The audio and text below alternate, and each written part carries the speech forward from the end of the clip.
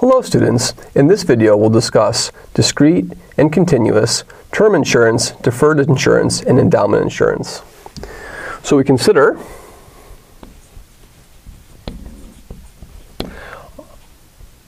a future lifetime random variable,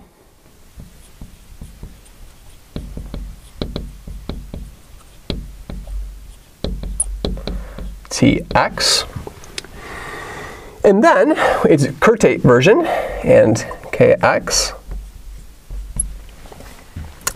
And what we'll do is we'll consider the random variable, the random variable z,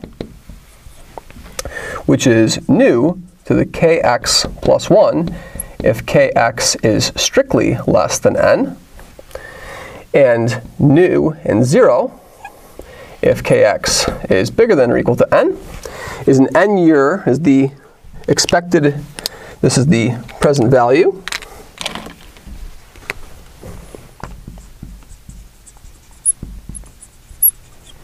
of $1 paid at the time, end of year, of death before age n. And the expected value of this random variable, if we take the expected value of this, this will be AX1 n, and this is the expected present value of $1 paid at the end of year death up to n years, and this is the term insurance present value. What we can also do is we can consider something, and for continuous, what will happen is we can just put a bar over this, and kx plus 1 is replaced with tx, so that happens for continuous. And so now what we can do is we can also consider what happens with an endowment insurance. So this is term. So here's n-year term insurance. And what we can do is we can consider this random variable z, which is 0 if kx is less than n, and nu to the n if kx is bigger than or equal to n. So this will pay $1 if the lifetime survives to age n. And so this present value, the expected value of this random variable over here, this is an endowment, a pure endowment insurance. So E of z for this will be A, X, N, 1. And so this is called a pure endowment. So if you survive to age n, if x survives to age n, then what happens is you get a payment of $1. This is a present, expected present value of a, of a pure endowment insurance. If we combine a term policy with a pure endowment policy, so combining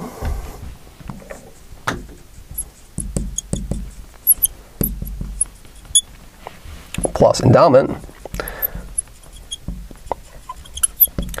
we get something called endowment insurance.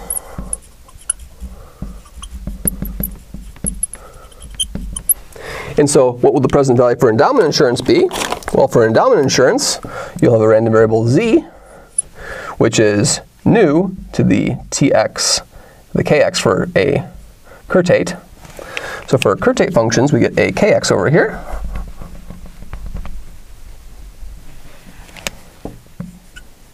Kx plus 1 if kx is less than n, and nu to the n if kx is bigger than or equal to n.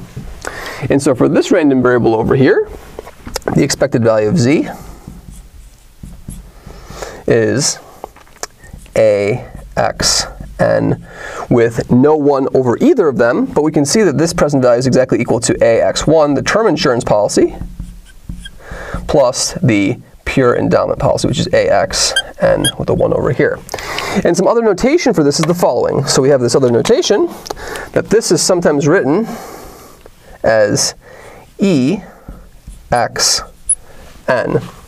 And what we can say from this is that this is exactly this EXN is nu to the power n, and then P x and the probability that x survives to age n. So oftentimes we'll just avoid this notation entirely and just say this endowment insurance is equal to term insurance AX1n plus $1 payment nu to the n, provided that the person age x survives to time n. So this is a pure endowment insurance.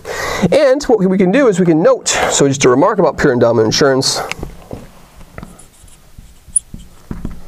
So pure endowments have the same expected present value for either discrete or continuous. Thank you very much.